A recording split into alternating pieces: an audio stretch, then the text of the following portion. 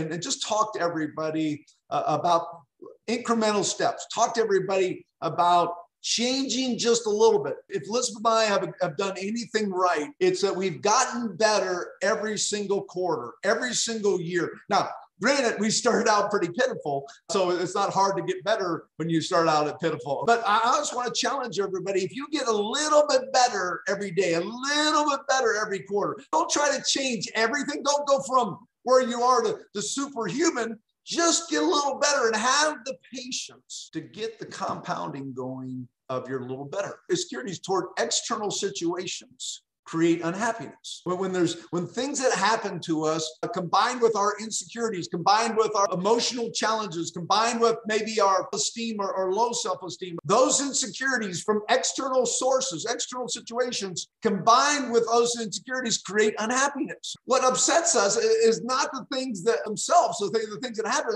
but rather our judgment about those things, how we see those things. All of us have challenges. All of us things have things in our life that, that maybe happen that we don't like. But it's how we see those, how we react to those that, that determine our long-term future. We spend too much time and too much energy comparing ourselves to others which leads to pain, frustration, immobilization, challenges. So I'm just going to ask everybody let, let's let's set small list, okay, small changes, things that we're going to do just a little bit better, a little bit different.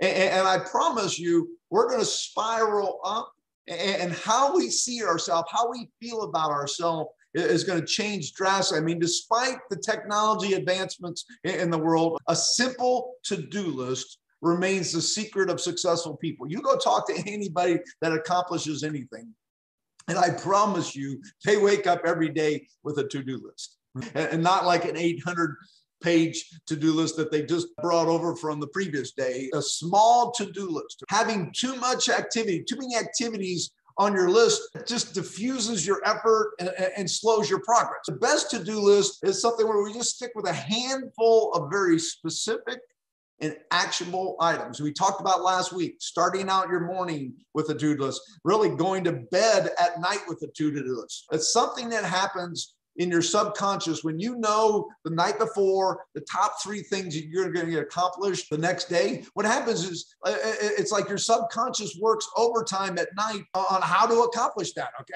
I don't know the scientific part of it but it works every time